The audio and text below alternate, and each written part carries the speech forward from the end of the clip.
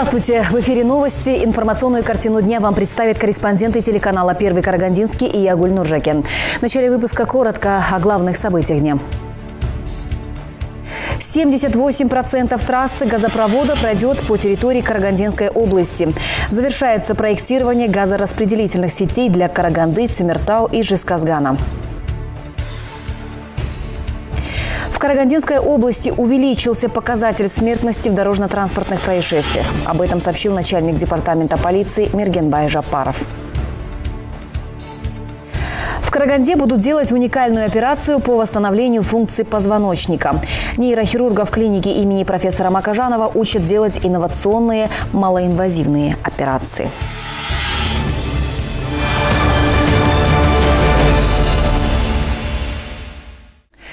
78% трассы газопровода пройдет по территории Карагандинской области.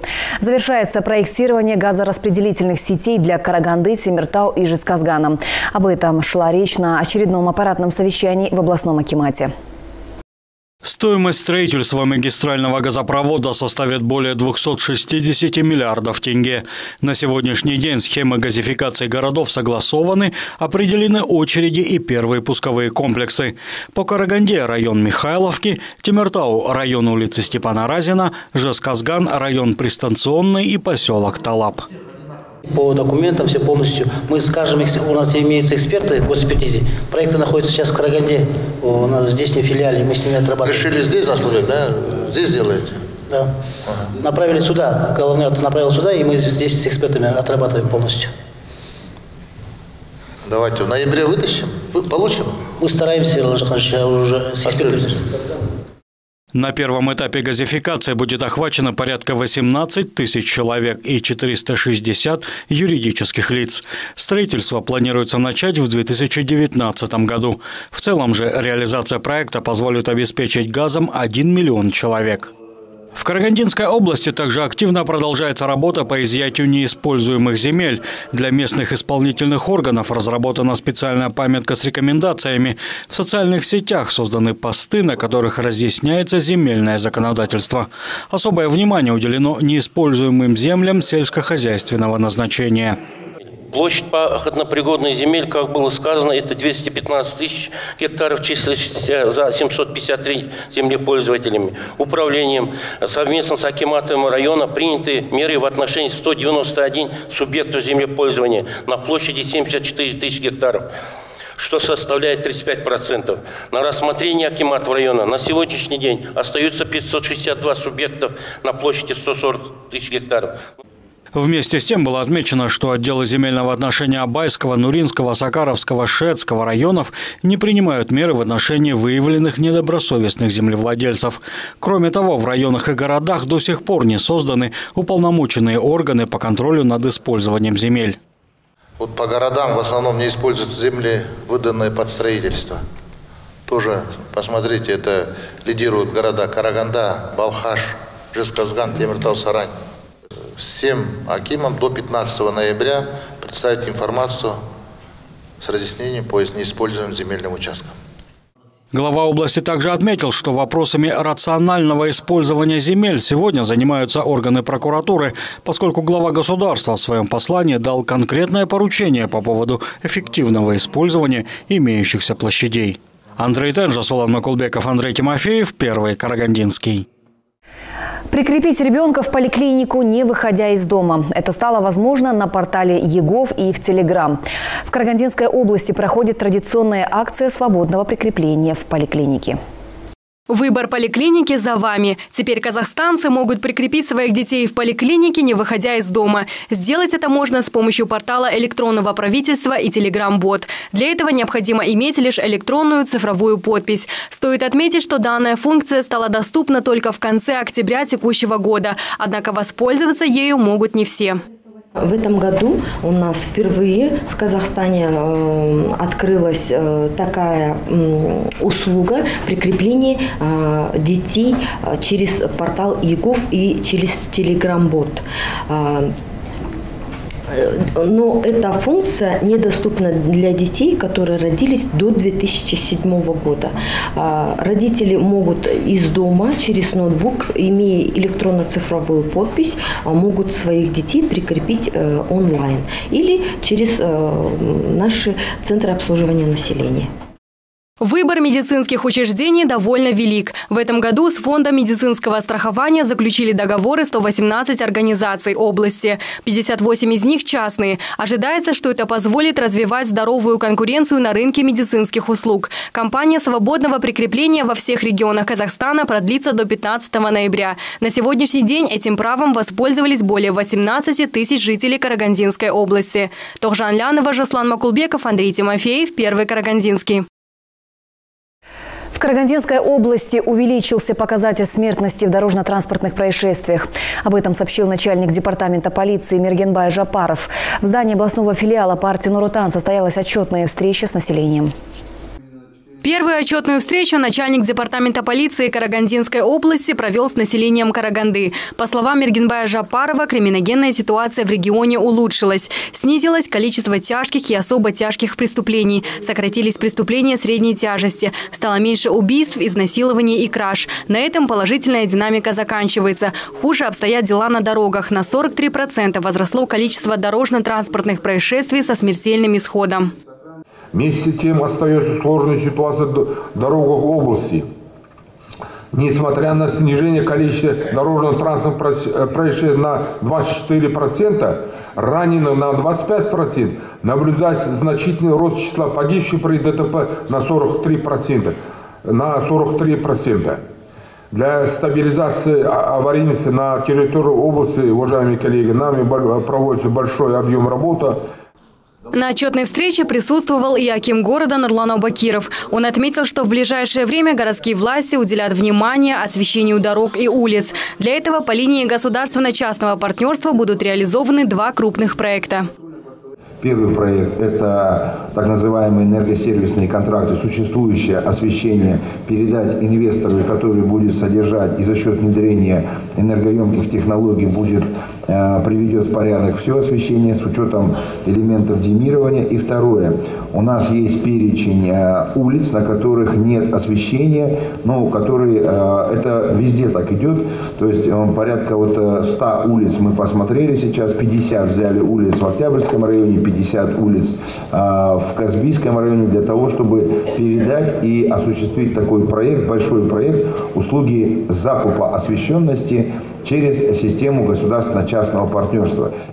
Больше половины уголовных правонарушений приходится на областной центр. В связи с этим проводится работа по улучшению криминогенной обстановки в городе. Чаще всего карагандинцы подвергаются кражам. Руководство департамента полиции заявляет, что на ближайшие годы запланирован ряд оперативно-профилактических мероприятий для решения данной проблемы. Также Мергенбай Жапаров заявил, что задачей первостепенной важности для правоохранительных органов остаются реформы. Согласно поручению главы государства уже разрабатывается дорожная карта по модернизации казахстанской полиции. В планах Министерства оптимизации штатной численности НВД, сокращение управленческих звеньев, избавление полиции от несвойственных функций, кардинальное изменение критериев оценки полиции с ориентиром на уровень доверия общества, чувства безопасности у населения. Одним словом, все дальнейшие изменения в системе правоохранительных органов будут направлены на завоевание доверия граждан и обеспечение прозрачности. Отчетные встречи начальника департамента полиции будут проводиться до 23 ноября. Следующие на очереди – Шахтинск, Жесказган, Сатпаев и Тимиртау. Тохжан Лянова, Аман Кужанов, Андрей Тимофеев, Первый Карагандинский. В Караганде будут делать уникальную операцию по восстановлению функций позвоночника. Нейрохирурга в клинике имени профессора Макажанова учат делать инновационные малоинвазивные операции на позвоночник. С практическим мастер-классом в Караганду приехал специалист Новосибирского НИИ травматологии и ортопедии. Вот одно с другим наслаивается при сколиозе. У нас косая проекция вот этого. То ли мы вот такой снимок получили, то ли мы вот такой снимок получили. Где середина S1, я здесь точно сказать не могу. Врач-нейрохирург Новосибирского НИИ травматологии и ортопедии демонстрирует казахстанским врачам так называемый сагитальный баланс. Он представляет собой равновесие всех изгибов и отделов позвоночника, необходимое для оптимальной фиксации. при кифозе, лордозе и других искривлениях сагитальный баланс нарушается. Новый метод предполагает, что перед операцией врачи оценят профиль позвоночника и будут планировать вмешательство с учетом параметров сагитального баланса. Этот метод позволяет проводить операции на позвоночнике без тяжелых последствий. А особенность ее в том, что э, по последним данным можно провести расчет. Э, этот расчет применить в операционной, математическую модель составить и согласно этой математической модели спланировать операцию, ее выполнить. А целью этой всей плана, этой модели – это хорошее самочувствие пациентов после операции и в значительной степени отказ от повторной хирургии на позвоночнике. Установка протяженной малоинвазивной транспедикулярной конструкции. За этими малопонятными для простого человека словами скрывается новейший метод лечения позвоночника. Обычно после первой операции человека приходится оперировать повторно. Внедрение нового метода оценки состояния пациента позволяет добиться нужных результатов уже после первого вмешательства. В клинике имени профессора Макажанова заявляют, что они внедряют только те технологии, которые проверены временем и это одна из них. Те новые методы лечения, которые где-то возникли и проверенными временем, их нужно внедрять, только их. А хватать и внедрять все, что э, возникает, и сразу брать, это, это не совсем правильно. То есть сейчас это... То есть сейчас есть понимание, что их нужно делать. Когда это понимание возникло, что их нужно применять, мы приняли решение, что мы тоже будем этим заниматься. Разработчики технологии заявляют, что у пациентов боли в спине и конечностях уходят, и они могут вести активный образ жизни. Впервые в Казахстане данная технология будет внедрена на базе медицинского центра клиники имени профессора Макажанова. Ее применение позволит снизить выход на инвалидность из-за тяжелых вертебральных патологий и вернуть пациента к нормальной жизни. Андрей Тенжа, Сулан Макулбеков, Андрей Тимофеев, Первый Карагандинский. К другим новостям. Танец на мечах, песни о горных вершинах Кавказа и главные лирические мелодии. Карагандинские творческие коллективы принимают участие в республиканском фестивале кавказской культуры, который в эти дни проходит в Кустанае. Мероприятие проходит в четвертый раз и с каждым годом набирает популярность.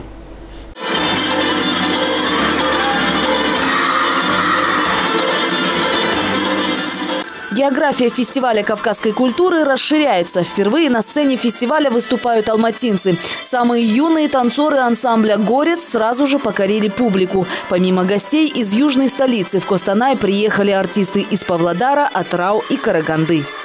У нас можно увидеть на, за два часа на одной сцене такую палитру Кавказа, такое многообразие танцев, песен. Здесь и традиции, и обрядовые танцы. Э, в общем, в принципе, весь Кавказ собран здесь у нас.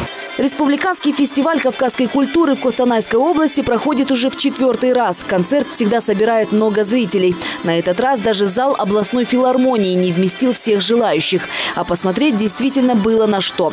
На сцене зажигательная лезгинка, лирические и шуточные танцы, сольные выступления и даже танец с оружием.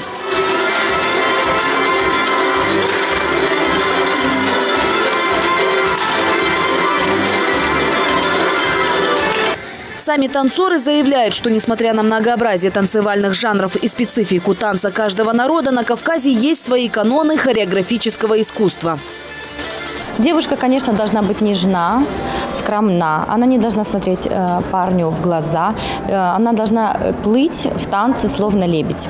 Парень же подобен горцу, подобен орлу, который парит над девушкой, который э, ее украшает своими движениями, руками, и в то же время он ее оберегает. Организаторы фестиваля обещают, что в следующем юбилейном фестивале все пройдет гораздо масштабнее и грандиознее. Провести концерт планируют уже в здании новой филармонии, зал которой вместит тысячу зрителей. Мирамгуль Салкимбаева, Андрей Тимофеев, Андрей Тен. Первый Карагандинский. В заключительном матче домашней серии карагандинский хоккейный клуб «Сарарка» одержал убедительную победу над воронежским «Бураном». Матч завершился со счетом 6-1.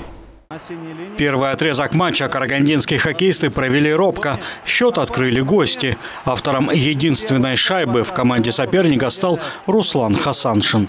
Под занавес первого периода карагандинец Марк Лыпкань сравнял счет, отправив шайбу в раздевалку гостей. На первый перерыв команды ушли со счетом 1-1.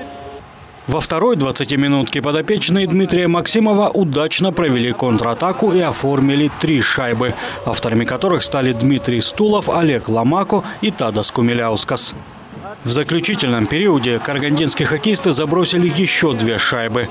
Воспользовавшись численным преимуществом, Эдгар Сингсна поразил ворота соперника пятой шайбой. А за 47 секунд до окончания игры Дмитрий Стулов оформил дубль в матче. Матч завершился с разгромным счетом 6-1 в пользу хозяев льда. Такой анализ игры сделать команда быстрее нас была. Второй период мы проиграли и проиграли игру. В третьем мы не смогли ничего сделать, ну и в конце ну, удаление, там сколько, 8 удалений. Там они забили два еще. Но провал был во втором периоде, когда нам забили. А, считаю, что должны были уже в первом периоде а, где-то вопросы решать. Пропустили гол завелись. Хорошо, удачно, скажем, провели контратаку. Ну, потом ребята маленько раскрепостились, почувствовали. Тем более болельщик давно хотел. Э, количество голов этих больше, чем, как коллега отметил, больше, чем один гол. Но сегодня очень здорово сыграли защитники в атаке. Из шести четыре забили гол. Тоже не может не радовать. Блестящей победой завершилась очередная серия домашних игр Сарарки. Команда отправляется на выезд в город Орск. Следующую встречу карагандинская дружина проведет 8 ноября против местного клуба «Южный Урал». Андрей Дан, Андрей Тимофеев, Первый Карагандинский.